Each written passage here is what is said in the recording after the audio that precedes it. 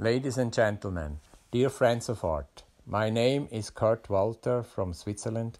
I live and work in Valle di Muggio, Ticino. I am a citizen of the cosmos. I am a visual artist and my discipline is meditation, drawing, and painting. My spirituality is meditation and exploring my subconscious. The inner eye sees the images and I draw and paint these images.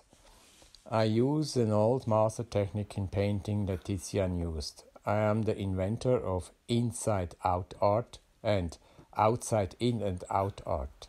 This is an art historical and art technical manifesto for contemporary art. Behind me, I show you my last great work, Atlas of Imagination, that was created during the pandemic. Atlas of Imagination is an oil painting with about 1200 glyphs and signs that I previously captured with meditation and drawings. Here you can see some drawings. Good luck and have fun collecting my works.